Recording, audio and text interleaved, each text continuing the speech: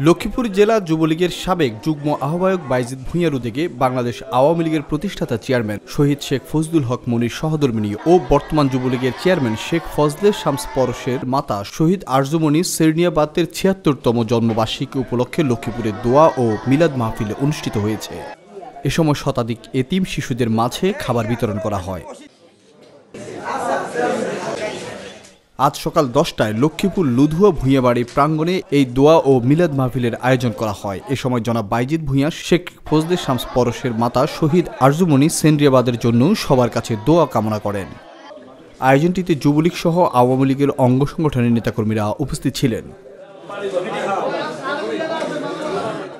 এখন নোয়াখালীতে শুরু হয়েছে ডিভাইস কসমেটিক খতনা আপনার সন্তানের জন্য শতভাগ নিরাপদ, ব্যান্ডেজ মুক্ত, রক্তপাত মুক্ত, ইনফেকশন মুক্ত খতনা হবে এখন নোয়াখালীতে। খতনার প্রথম দিন থেকে রোগী গোসল করতে এবং স্কুলে যেতে পারবে। সেলাইবিহীন ব্যথামুক্ত, ডিভাইস কসমেটিক খতনা করান, শিশুদের সুন্দর, স্বাভাবিক এবং ঝুঁকিমুক্ত রাখুন।